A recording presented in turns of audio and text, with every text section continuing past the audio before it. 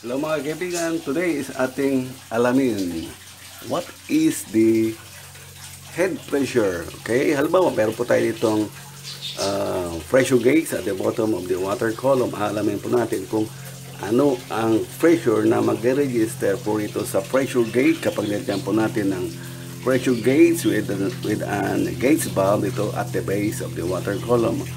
Okay, assume po natin na ang ating water column is uh, pipe. Okay, pipe size po niya is 4 inches. Okay, yan po yung ating assumption. The pipe is 4 inches. Ang kanyang height is 32 meter. Para malaman po natin o aalamin natin kung ano ang uh, pressure at the base of the water column. Para malaman po natin kapag tayo ay bibili ng bomba, usually ang pump, ang water pump, ang kanyang pressure is naka-indicate po sa kanyang plate at ito po ay in terms of meter, okay? Meter head. Nakalagay doon, maximum head, let's say 32, 45, 52. At least, kapag tayo bibili ng pump, alam po natin yung maximum uh, PSI na pwedeng ibigay po o i-deliver ng water pump. Okay?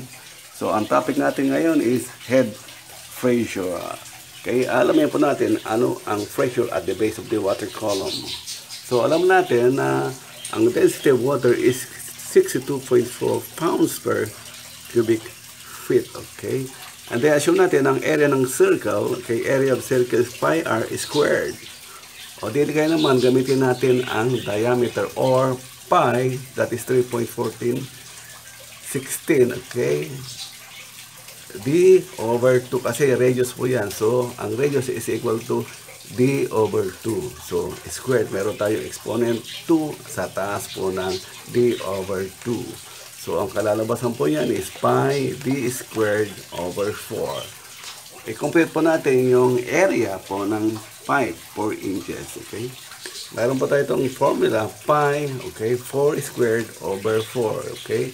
Yung 2 at the base, at the bottom is squared natin po yan, 2 by 2 times 2, kaya naging 4 po yan. So, meron tayong 5, 4, okay, 4 squared over 4, cancel po natin yung 4, matitira po yung exponent, meron dito exponent 1, doon man sa taas is 2, so cancel po yan, magiging 1 na lang yan. So, lalabas po rito is 4 pi. Okay, 4 times pi. So, ang total na area is 12.6 square inches. Okay. Ngayon, i-convert naman natin yan in square meter. Okay, 12.6 square inch. Okay, divide natin ng 144. Lalabas po yan is 0.088 square feet. And then, i-convert natin sa meter squared. So, meron tayong 0.088 times, okay? Divide natin po yan ng 10.758, okay? Cancel po dito ang square feet. Lalabas po ang square meter. So, ang magiging area is 0.008 square meter.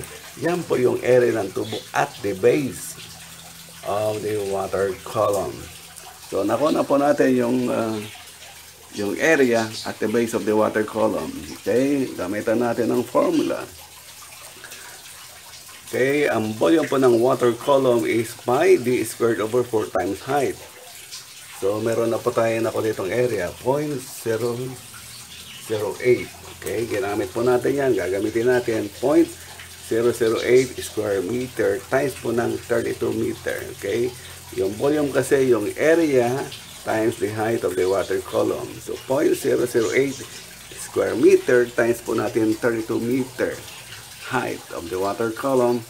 So, ang lalabas po yan is 0.256 cubic meter. Yan po yung total volume po ng water inside the water column. Ngayon, i-convert po natin yan in pounds. Okay, meron po tayo ditong, ang kada pounds is meron po siyang volume na 0.00045 cubic meter. Okay? Multiply po natin siya. Cancel po ang cubic meter. Lalabas po is pounds. Ang total pounds niya, yung weight is 5 568.889 okay, pounds. Ngayon, yung area at the base of the water column is 12.6. I-divide po natin yan doon sa nako nating weight ng water column. Okay, 568.889 pounds. Ito yung bigat ng water column. I-divide natin ng area the base of the water column is 12.6 square, uh, square inch. So, meron po tayong PSI at the base of the water column is 45.150. Tumutugma po doon sa aking computation regarding the pump on my last video, on my previous video pala. So, we have the pressure is 45.15 PSI for a water head of 32 meter.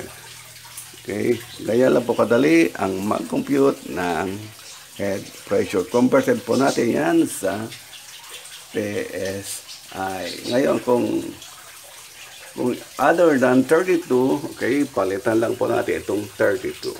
Okay, multiply po natin sa 0.008. Okay, square meter. Kasi ito is 50, gawin natin 50 po yan. So, magbabago lang po dito yung yung uh, weight. Okay, magbabago po yan. Pero yung pressure is, yung pressure is magbabago kasi nag, nag-increase ka po ng height of the water column. Okay, yung pressure at the base of the water column is it depends on the height of the water column. Pag mababa ang water column, mababa rin po ang pressure at the base of the water column. Assuming this one is only 20, mas mababa po yan sa 45.15 PSI. Okay, lang po mga kaibigan. Thank you very much for watching.